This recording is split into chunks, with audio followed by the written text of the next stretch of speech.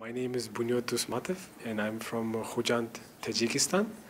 My education background is in uh, mathematics and economics. I got a scholarship uh, to study at the United States. So I went uh, to, I studied at Earlham College in state Indiana, and I finished, um, I double majored in economics and mathematics.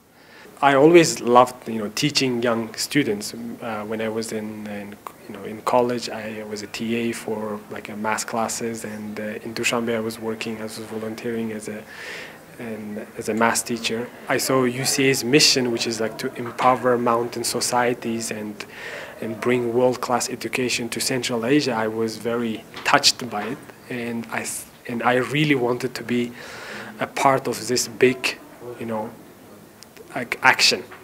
Remote places has its own difficulties. It says it's remote. It's like far away from uh, you know different parts, like from uh, big cities, and that's what I like the most uh, about UCA's uh, you know like a value.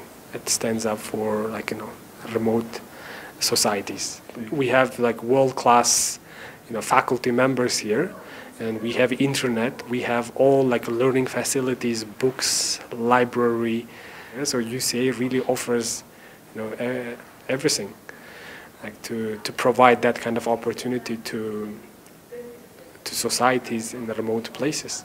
Uca so far has created so many jobs to building these uh, uh, campuses like you know with all other like you know akdn like you know branches.